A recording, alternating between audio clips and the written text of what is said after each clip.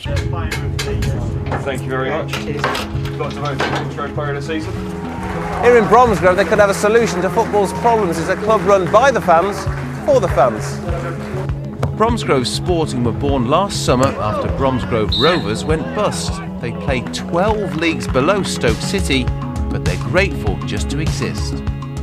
It's a local atmosphere, there's a good atmosphere, and especially since Bromsgrove Sporting took over, um, it, it's revived the club, revived the community. I'm a Wolves fan, really, but uh, I found out I can get a season ticket here for what it'll cost to take me and my two children who come here to one match. I think it's very important because it brings all the locals together, somewhere for them to come over Saturday afternoon. So, yeah, I think it's really, really good for the town, yeah.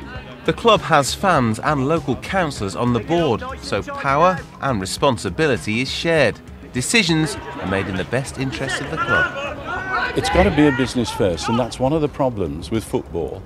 I've seen so many sensible businessmen men act like fools. And, and why? You know, they wouldn't do it with the business.